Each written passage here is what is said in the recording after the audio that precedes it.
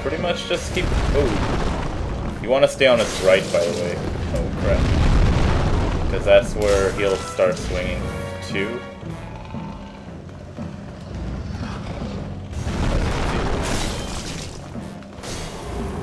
And he's pretty close to dead now, so... Just gonna finish him off here. Want to make sure you don't lock onto him either, because that really can screw you over. Him getting into a wall like this is actually taking cross. So what we're to do is back off. Just let him come to us a bit. And he has no ranged attack, so you pretty much just need to make sure you stay close to him. And go in after he attacks.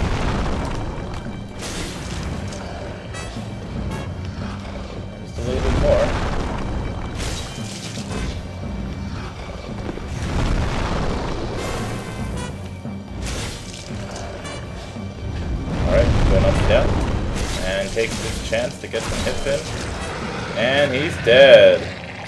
So that's basically the easy way to kill Vanguard. There's no other way around it. Because he'll kill you in one hit, so uh, you don't want to do that. And we just got the Great Demon Soul and we're gonna warp to the new area. So basically, once you kill a boss, you get you uh, get their soul, I guess, like a boss soul, and those can be used to either get soul points or purchase or upgrade new items.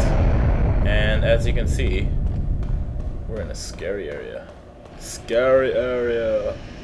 And I can see that the stream on my camera or my recorder is like really messing up. So what we're gonna do here is just grab this item. That's a gigantic, ginormous dragon, so make sure you don't, uh, you know, you don't shake his hand. It's just me, or is that an item up there?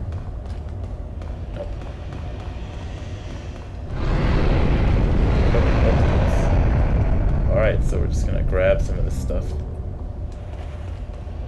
Grab some sharp stones. These are basically uh, items to upgrade. That renowned soldier soul that we just got, those can be used to um, redeem for souls by just using them.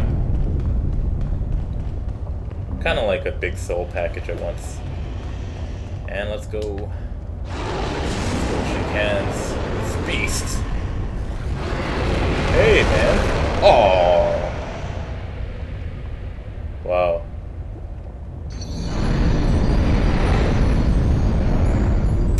So that's the end of the game. So, uh, yeah, just make sure, just just make sure you are uh, prepared to lose the game right there. Game over. Alright, no, I'm just kidding. Obviously, I'm just kidding. And we are entering a one place called the Nexus.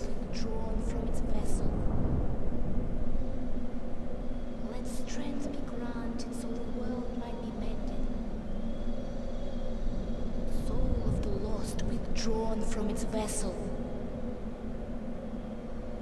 Let strength be granted so the world might be mended. So the world might be mended.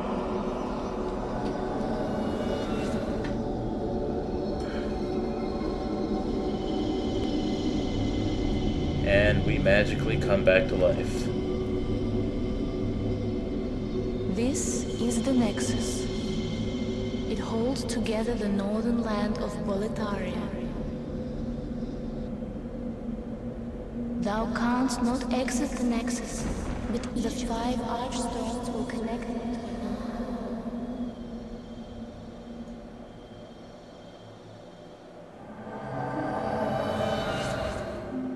Alright, so we're back, and you have died. The Nexus has trapped your soul. You cannot escape the Nexus. However, by capturing Demon Souls, you can reclaim your physical body.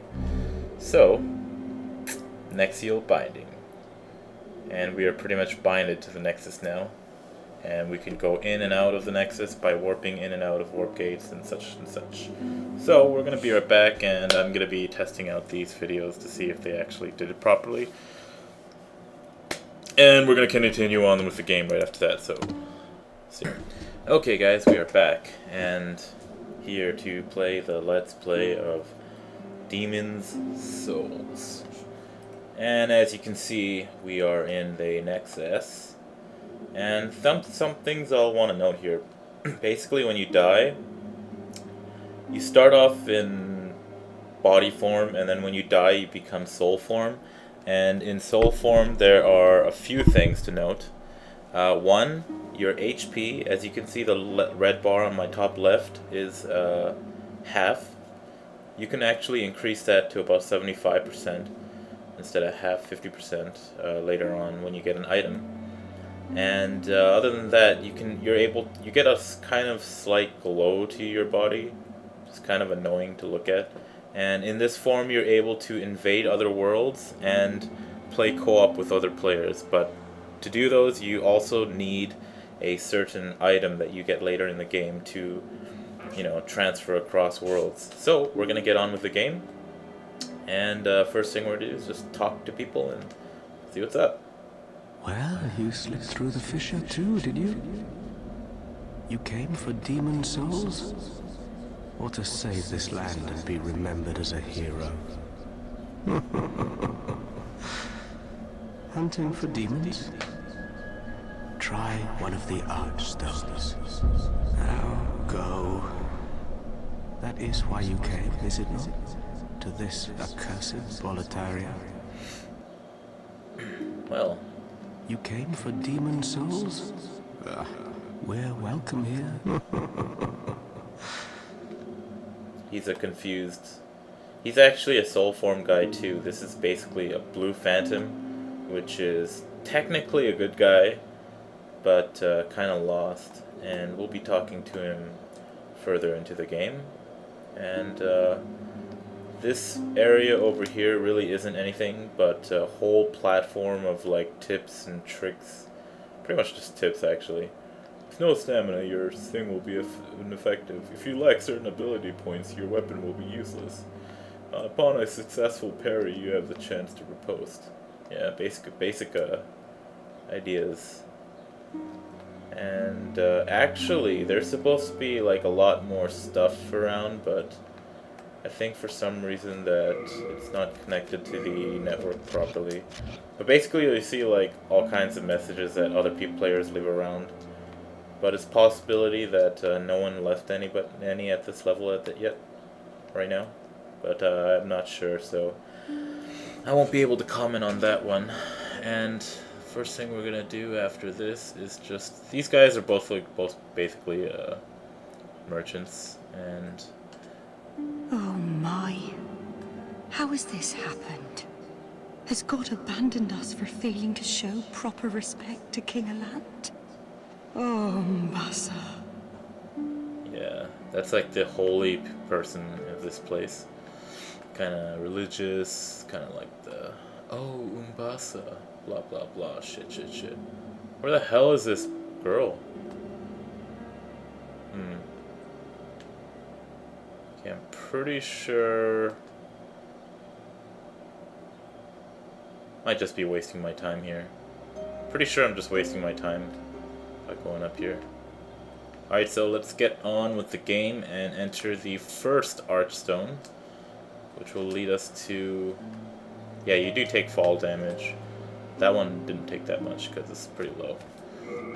And um, one thing bad about this game is you're not able to sell equipment because uh, basically everything's done in soul points. So you can't really sell equipment for more souls because that doesn't really make sense, I guess. It's kind of a fault of this game, but uh, it's alright. It's okay. It's okay. And we're gonna get on with the first zone. And we're entering basically an archstone, basically like a dimension, not a dimension, but like a, a world. And there's five different worlds. And each one has its own characteristics and enemies.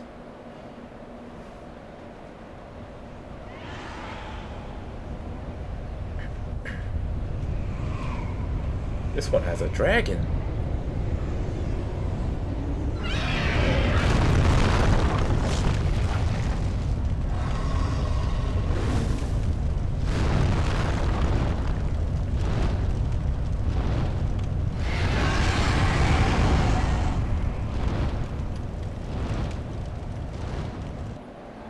Well then, looks like we're in the game.